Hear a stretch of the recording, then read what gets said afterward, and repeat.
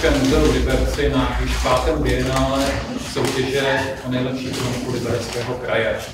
Na slavnostním udílení ocenění za nejlepší kroniku Libereckého kraje se na pátém bienále soutěže pořádané Libereckým krajem ve spolupráci s Ještěckou pobočkou České archivní společnosti v úterý 14. září v prostorách Severočeského muzea v Liberci sešli kronikáři celkem 17 obcí našeho kraje.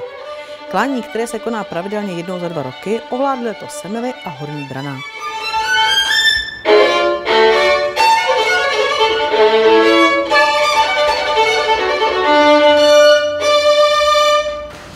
Případě prvního místa kategorii na 2000 obyvatel prvního místa, co se bodu týče za celou soutěž, došlo poprvé k překonání hranice 300 bodů za hodnocení, při hodnocení všech devíti eh, hodnotitelů.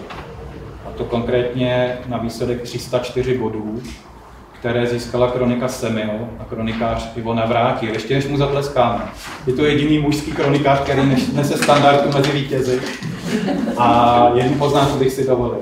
Eh, bez eh, pana kolegy, eh, spolu jsme takřka 20 let pracovali v jedné instituci, by tahle soutěž neexistovala. Byl to jeho nápad, že by se mohla v Libereckém kraji tato soutěž, která někde měla, řekněme, tradice nebo takové, řekněme, nesměle vznikaly nějaké pokusy v jiných krajích nebo v jiných okresech, tak tady si myslím, že se ujala soutěž velmi dobře a je dobře rezonuje i v celé historické archivní síti. Soutěže se mohla zúčastnit všechna města a obce Libereckého kraje. Odborná porota posuzovala kroniky ve dvou kategoriích, rozdělených podle velikosti přihlášené obce. Vítězná kronika pochází ze Semil, Druhé místo mezi obcemi nad 2000 obyvatel získalo Jabloné v Podještědí a třetí Lomnice nad Popelkou. Vítězná kronika v kategorii obcí do 2000 obyvatel pochází z Horní Brané. Druhé místo obsadil městy z Zásada, třetí pak obec Blatce. Devítičlenná porota, složená ze zástupců Krajského úřadu Libereckého kraje, státních okresních archivů, Muzea Českého ráje v Turnově a Městské knihovny v Jablonci nad Nisou, hodnotila kroniky za léta 2018 a 2019 z hlediska obsahu a struktury zápisu, stylistické úrovně, grafické a výtvarné stránky a příloh ke kronice. Jejím předsedou byl magistr Vít Křesadlo, vedoucí státního okresního archivu Vežďáře nad Sázavou a kronikář Nového města na Moravě.